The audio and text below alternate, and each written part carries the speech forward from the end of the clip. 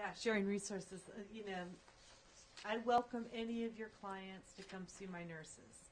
Free in the community, walk in, no appointment, tell me your problem, I'll figure out how to help you. Uh, we're weak in collaborative care, in a mental health training, so I'd like all my nurses trained in, um, you know, brief cognitive behavioral therapy so that as a point of contact when a client comes in, that they can assess better and maybe say something that makes a difference. So they're not ever going to be therapists. I don't expect them to be therapists.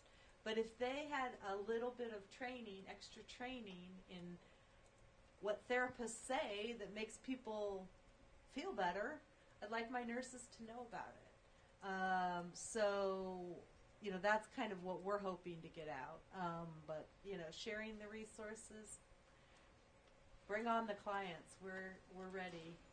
We're ready to see you. Oh, come get a flu shot, by the way. We'll be doing 5,000 flu shots in SPA 4. I don't think I answered the I question. should have brought them today. I don't think I answered your question from before about what could No, we do could you better. better?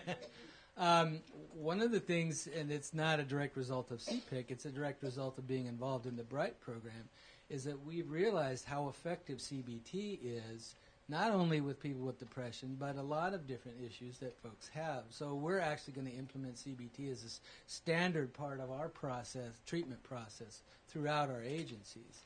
Um, and we're getting ready to embark on the training process of all our staff.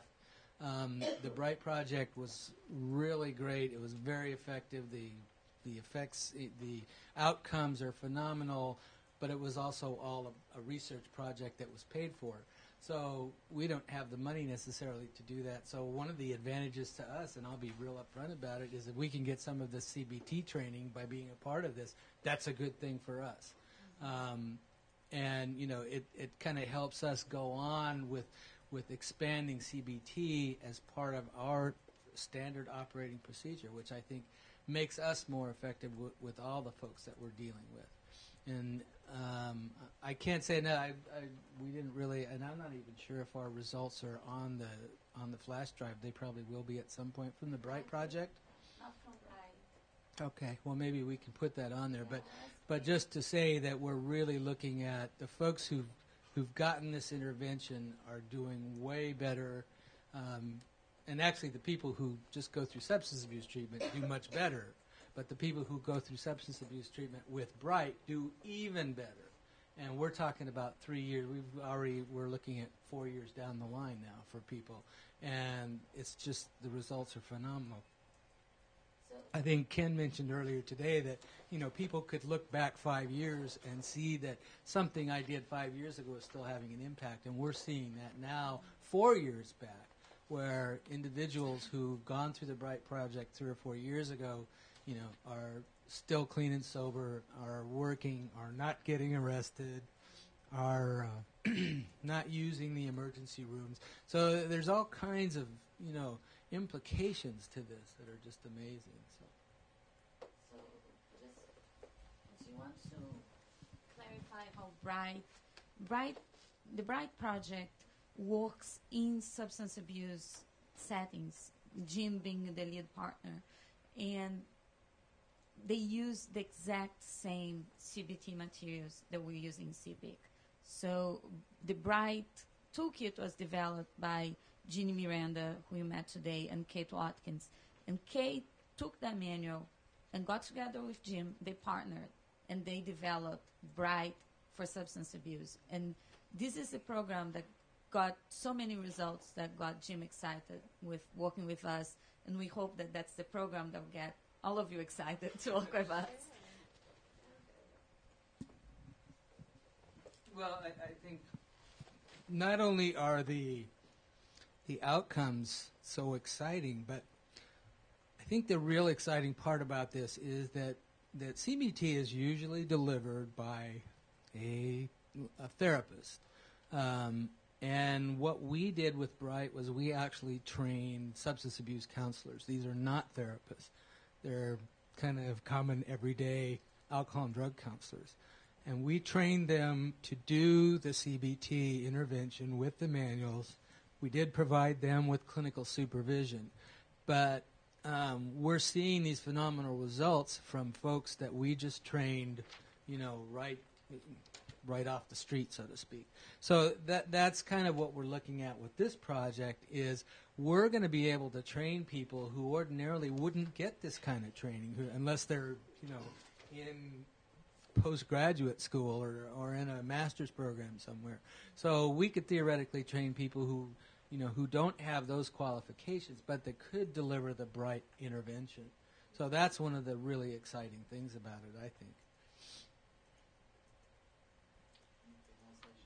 I have a question. Yeah. In the area of uh, this clinical intervention model, how about prevention and early intervention? Is there any aspect of it in CPIC? Like, you know, for families to understand, how do you understand early signs so that, you know, it doesn't escalate to further clinical depression? I mean, Any aspect? Well, I think it relates to that public education mm-hmm. piece mm-hmm. that people have been talking about. That, you know, when Jeanne said that she had clients who didn't even know they were depressed, they said all their friends are like that, their communities like that. That, uh, so I think the public education piece of distributing all these go give a presentation on depression. Let's you know, let's get the word out there that and I think that I think we are able we're getting better able to talk about it. It's a very sensitive, delicate topic. Um, but um, I think that uh, it's the public education that will matter.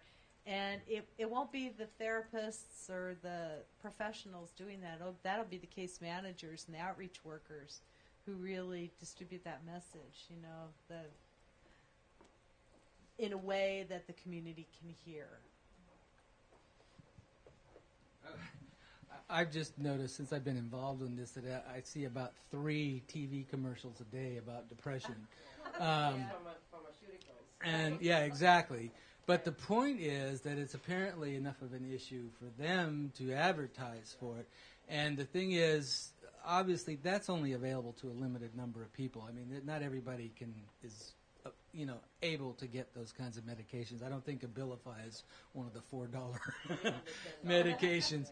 Uh, but the fact, you know, that people are hearing about depression now, if they hear that there's some other alternatives to those things they're seeing on television, I know that there's a lot of a lot of stuff going on about depression. So it's it's rising to the surface on a number of different levels, and you know, this group is actually doing something directly about it and working together. So I think. You know, with the public knowledge that exists, with the training and the education that we can do by by putting together these community collaborations that then have influence, you know, and impact on all the folks that they deal with. Because it's amazing, you know, just you may be talking about something completely different, but you know, mention that you're a part of CPIC. Oh yeah, what's that? Or somebody mentions to you, oh yeah, my my dad's really, you know, suffering from depression. I don't know what to do. Oh, let me. T- why don't you do this? Why don't you go over to this place or that place? So all of a sudden, all this stuff kind of starts to spread around. The more that we all talk with each other. So I think that's part of it too. Is it's really rising to the surface, and I think w- this is a very timely kind of intervention that we're doing here because there are a lot of things being suggested, but very few of them have to do with the community coming together as a group and addressing this issue.